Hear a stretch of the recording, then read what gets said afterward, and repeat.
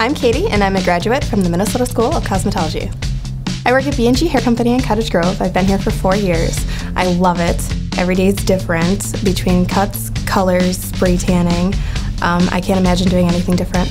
The reason I chose the Minnesota School of Cosmetology is because when I did my tour, they made me super comfortable and it seemed like a fun atmosphere. When you first start off, you start in basics and you kind of learn the basics and theory of everything, and then you move on to intermediate, where you actually get to start practicing those basics hands on with mannequins and clients. And then by the time you're in advanced, you're just kind of perfecting everything that you've learned to get out into the real cosmetology world. What I like best about MSC's program was the flexibility. They offer full-time and part-time classes evenings and mornings. Um, I worked full-time, so I was able to work full-time and then go to school in the evening and on weekends. The instructors were great. They all had so many different backgrounds. Uh, some toured in other countries doing hair. Some had even worked with famous celebrities doing hair. So we got a really good variety. I would absolutely recommend MSC to anybody.